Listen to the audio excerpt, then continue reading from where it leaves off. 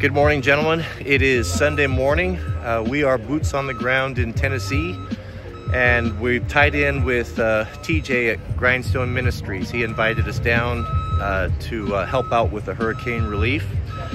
I was uh, when I decided to to do this. Uh, I'm not coming down here to do content. We were just coming down here. I was going to take a week off and just plug, get us get ourselves plugged in wherever they needed help uh, TJ asked me uh, to share some content, to make some content of what's going on and, and what's really happening on the ground. I'm going to put links to Grindstone Ministries. They're going to be here for another three weeks or so, and they could certainly use volunteers. So I'll put the information, I'll direct you to their website if you want to do that. So I will be sharing content. My primary focus is going to be, we're going to be on a SAW team today. So uh, this is a really, really organized impressively organized organization. When we rolled up on to the camp, it was as organized, if not more, and better led than national fires from Forest Service fire camps that I've been on. Uh, and it's run like a, it, it's just, it's really good. We're, we have a team leader. Uh, every team will go out with a medic and just the spirit and the heart of the people is so different than fires there's good people on fires, don't get me wrong, but a lot of people are there for the money. It's more mercenary, where everyone here is here on their own dime because they want to be, and it's just a very special environment that I feel very blessed to be part of. So I'll uh, give you a quick walk around the camp. Uh, we'll have our meeting. Uh, to, we're going to head out here in about 15 minutes, and uh, I'll bring you along today uh, the best that I can. Mr. Brian and I will be uh, on a SAW team today. Uh, so we've loaded up. We got a 661 there, I think. We got 661 and a 4 462.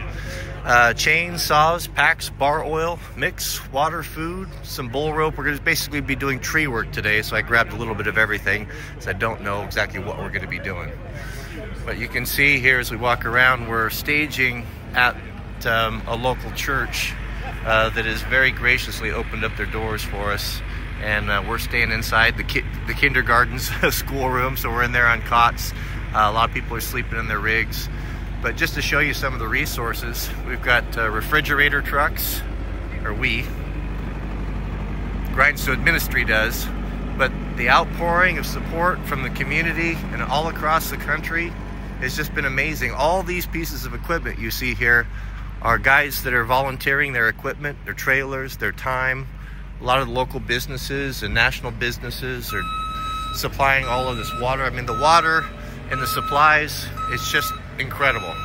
Incredible. Everyone here is a volunteer. A whole fuel station.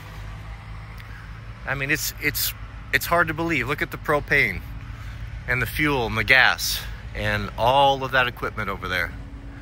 One of the biggest concerns that we have is the temperatures getting pretty cold. It's getting down into the 40s and a lot of the folks how you doing jay?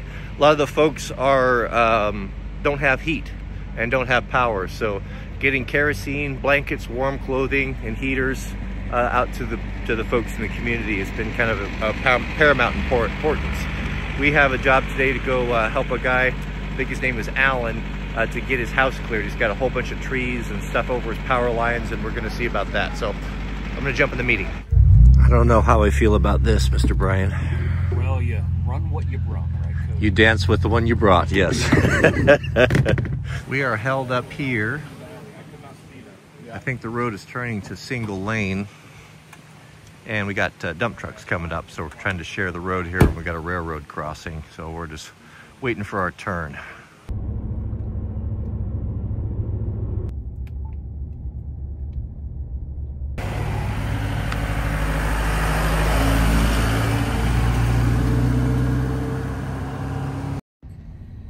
Look at that, Brian. There's a car over there.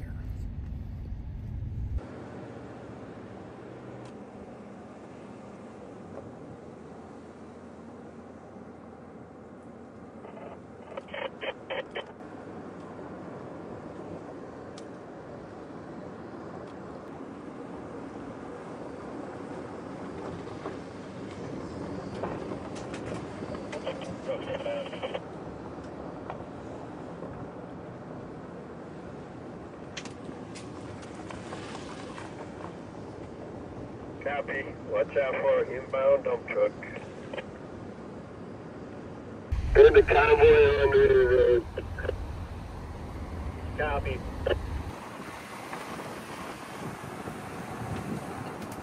We're coming coming up on our second drop point. So from here, we're just going to be kind of guys will be peeling off, and we'll be plugging them into different uh, houses that need help. I think we're going to go to the farthest end, uh, to the last, the third church. Churches seem to be kind of the drop points, the gathering points for uh, all of the aid workers, all the helpers.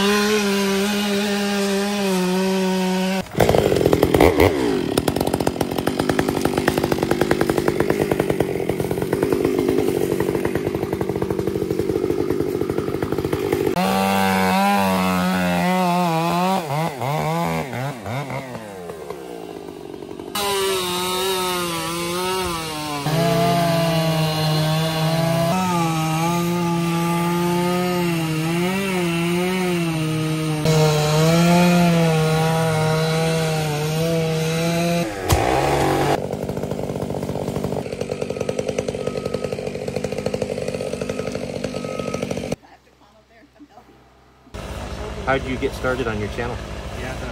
Me? Yeah. Um, so it was during COVID. I've been a tattoo artist for about 14 years, and there was an ad on Facebook asking for people to um, help review people's tattoos. About this whole section here Oh, and press in a piece of carbon or aluminum, like a piece of carbon, and it takes like a third of the weight out.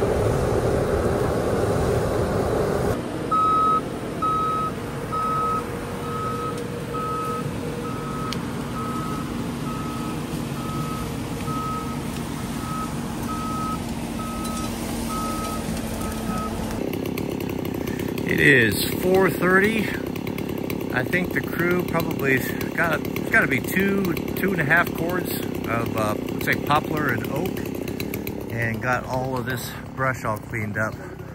So it was all really twisted and tangled in here. This whole drainage here just all washed out, and had to rebuild the ro road and, and everything. But looks a whole lot better, and got quite a bit of probably enough firewood to get through the winter anyway.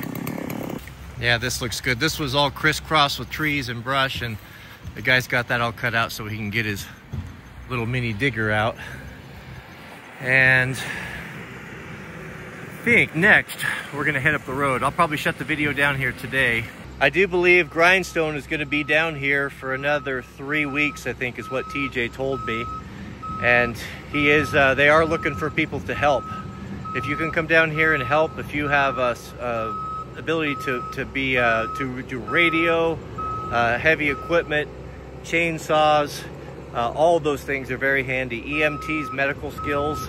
I will put uh, I'll pin it to the top to the top comment and to the uh, in the subject heading the link to Grindstone.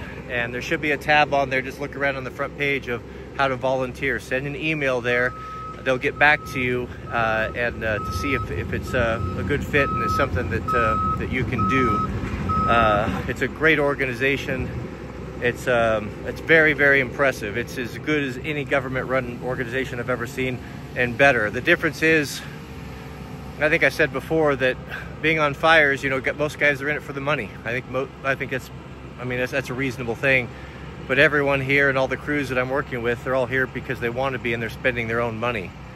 I spent uh, an hour or so last night with a, a pilot and co-pilot that flew all the way down from uh, Nebraska, burned their own fuel with a Jet Ranger, uh, and worked down here for a week uh, delivering uh, cadaver dogs and um, delivering people around search and rescue crews. You know that I, that's that's incredible. And all this equipment you see, and this Bobcat behind me, you know, we rolled today pretty deep. We had uh, I think three skid steers, uh, maybe four and a mini excavator, maybe two mini excavators, and a whole bunch of power saws. And we were just one crew. We, were, we had so many, we split up into two and just got a lot of good work done. So if it's on your heart to volunteer, I would encourage you to do it. It's, um, you'll be, uh, it's a life-changing experience. I just wasn't prepared for the level of devastation and, and I guess, I guess what I wasn't prepared for was just the, the high quality people. Uh, all, uh, you know, I don't I don't know what to say other than it's just very humbling and I feel very blessed to be a part of it. And uh, if you'd like to be part of that and it's on your heart, you know, volunteer. Go to Grindstone and uh, sign up. There's still time to come down. There's going to be a lot of need.